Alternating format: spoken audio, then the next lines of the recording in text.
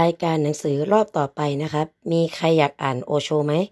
แต่ว่าถ้าโอโชเนี่ยก็จะหนาหน่อยนะครับ อ่า อันนี้ตื่นรู้นะ อันนี้มีใครอยากอ่านไหมเล่มไหน อันนี้เป็นล็อตใหม่ๆนะ อันนี้ The Richest Man in Babylon ก็ดีนะครับ มีใครอยากอ่านเล่มไหน ถ้าเป็นอันนี้เนี่ยก็จะเป็นพวกจิตใต้สำนึก อันนี้ความร่ำรวยจิตใต้สำนึก อันนี้จะเป็น mindset อันนี้ก็จะเป็นเกี่ยวกับความสำเร็จนะครับ อันนี้ก็ดีนะเล่มนี้ จริง ๆ มีหลายเล่มนะครับ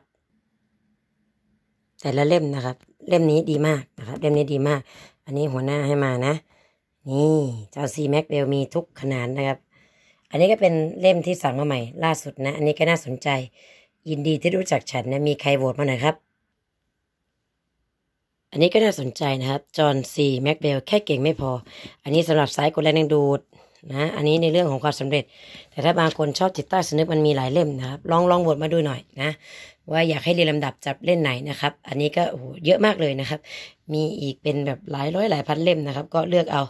นะครับชอบเล่มไหนหรือหรือคุณโหวตมาก็ได้ว่าคุณชอบสไตล์กดแรงดึงดูด ก็จะเริ่มต้นที่กดแรงดึงดูดก่อนนะครับ ในรอบหน้า หรือบางท่านบอกว่าเฮ้ยชอบในเรื่องของแบบเนี่ยรู้จักตัวเอง แต่โอป้าว่าเนื้อหาเล่มนี้ก็ดีมากๆนะครับแต่ เนี่ยเนี่ยเนี่ยเนื้อหาดีมากนะครับปีศาจในวัยเด็ก อันนี้มันจะพูดเกี่ยวกับการทำงานกับตัวเอง จริงๆ แล้วมันเป็นการทำงานกับจิตใต้สำนึกนั่นแหละแต่ว่ามันอาจจะไม่ได้แบบดูแบบสปิริตวลเหมือนเล่มนี้นะครับ แต่เล่มนี้ก็ดีมาก